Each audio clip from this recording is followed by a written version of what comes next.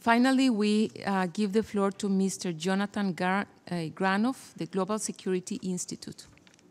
Chair, delegates, friends, we call on governments to welcome civil society more explicitly.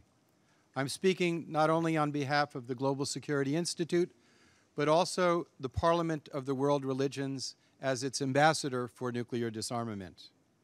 We thus suggest the following paragraph welcoming and encouraging the engagement of civil society in education and advocacy to obtain a nuclear weapons free world, we call upon all governments to actively support such efforts. At the last General Assembly, a resolution, an extremely unique, important resolution, was adopted, taking the elimination of nuclear weapons above geopolitics and placing it squarely upon universal moral footing. The ethical imperative for a nuclear weapons free world, 7155, very much like the resolution that convenes us here today, Resolution 71258, was not obtained by consensus, but by a vast majority of the world's nations. And it states in relevant part in its declaration and I quote, given their indiscriminate nature and potential to annihilate humanity, nuclear weapons are inherently immoral. Recently, Archbishop Desmond Tutu addressed this core issue, and he said, the development and stockpiling of weapons of mass destruction by any state is morally indefensible. It breeds enmity, distrust, and threatens peace. Further arms races and provocations will lead us inexorably to catastrophe.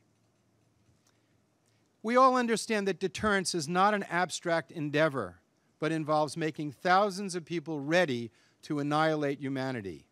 It rests on making the threat to use nuclear weapons present, credible, and real. To rest global security on such flawed moral footing is the pinnacle of folly. To quote the, the most renowned realist in geopolitics, George Kennan, he said, the readiness to use nuclear weapons against other human beings, against people we do not know, whom we've never seen, and whose guilt or innocence is not for us to establish. And in doing so, to place in jeopardy the natural structure upon which all civilization rests as though the safety and perceived interests of our own generation were more important than everything that has taken place or could take place in civilization, this is nothing less than a presumption, a blasphemy, an indignity, an indignity of monstrous dimensions offered to God. If the knowing annihilation of civilization is not considered morally unacceptable, then what moral standards could apply to anything? Thus, we suggest the following inclusion in the preamble. Asserting that, the, that given their indiscriminate nature and potential to annihilate humanity, nuclear weapons are inherently immoral, and condemning the immorality of knowingly causing or threatening to cause irreparable environmental damage devastating climactic change, or horrific suffering and death to countless non combatants through the use of nuclear weapons. Thank you.